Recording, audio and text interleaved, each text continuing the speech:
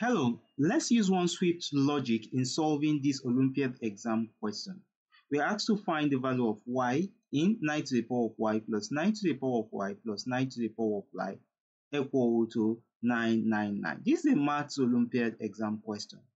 Let's uh, see how we'll find the value of y. Don't forget to give this video a thumbs up, share it with friends and colleagues, and remember to subscribe to my channel for more simplified mathematics uh, exam questions. Now you find out that the value of y, 9 to the power of y is common and it appears three times, right? So since it appears three times, we are going to simplify that.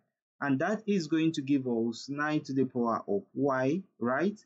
All into 1 plus 1 plus 1. And this would be equal to 999. Now if you see, if you simplify all this, if you simplify all this, you're going to see that we'll have the same value over here. Great. In the next step, we are going to consider adding those values in the bracket. And that will give us 9 to the power of y multiplied by 3, right? And this will be equal to 999. So, to find the value of y, we'll divide through by 9. And if you divide through by 9, you find out that 9 will clear 9 and over here 3 will give us 1 and 3 over here will give us 3 3 and 3 great. Now that's every equation. That very equation will give us 9 to the power of y equal to 3 3 3 so what we are going to do now is to find some factors of 3 3 3 so as to simplify all this expressions from here, 3 will definitely go to give us 1, 1, 1, right? 3 can go again to give us 37. So that means the factor, this and 37 can be the factors of 3, 3, 3. Now let's insert the factors into this expression. This is now going to give us 3 to the power of 2, right? All to the power of y, and this will be equal to 3 squared multiply by 37, right? Now, there any easy way we can solve this? If 3, if 37 can be to the base of 3, then we can easily solve this. But sorry, it can't.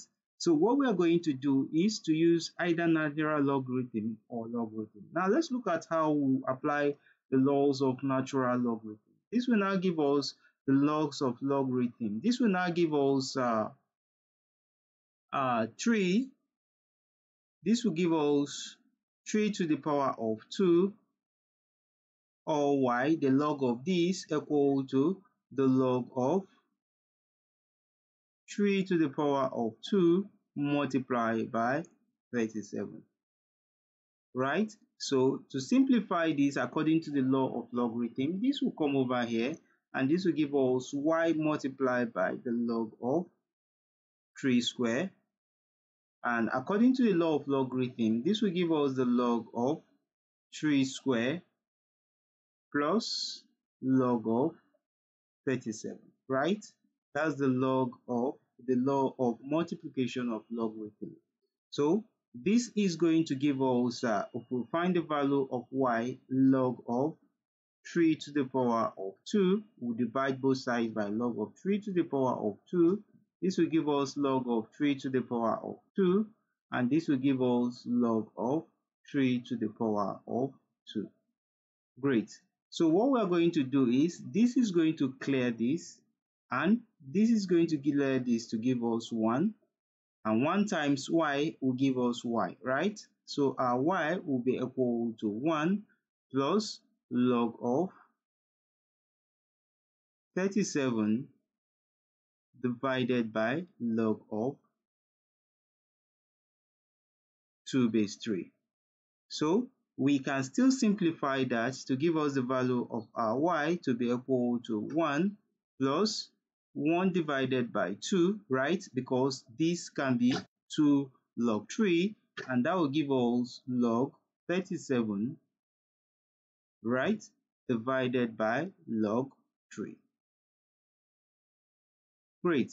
Now, we can simplify this further, recalling the laws of logarithm that we have the log of x divided by log of y. This can be equal to the log of x base y, right? So this can be equal to, uh, y can now be equal to 1 plus 1 divided by 2 log of that is going to give us 37 base what? Base 3, right? So that is the solution to that question given to us. So you see, very easy. So this is how we applied logic in solving this math solution. I know you did enjoy watching this math solution. Don't forget to give it a thumbs up, share it with friends and colleagues, and remember to subscribe to my channel for more simplified mathematics solutions. Thanks so much for watching and bye bye for now.